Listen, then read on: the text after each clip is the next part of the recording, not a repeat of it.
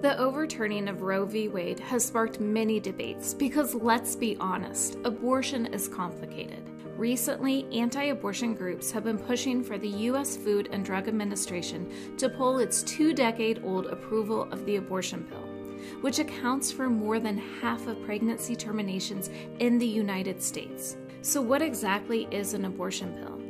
Well, medication abortion is a safe and effective way to end an early pregnancy before 11 weeks, and it allows people to have an abortion in the privacy and comfort of their own home. The FDA has even ruled that the two abortion medications are safe enough to be administered through a telemedicine appointment rather than in person, and that the pills can be delivered by mail.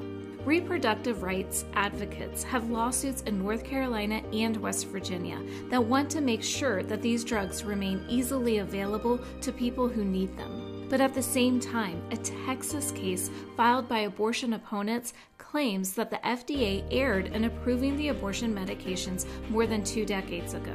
This case could be decided as early as mid February. The outcome of these lawsuits will settle the question on whether states can regulate and restrict drugs that have been approved by the FDA, even in states where abortion is currently legal under law.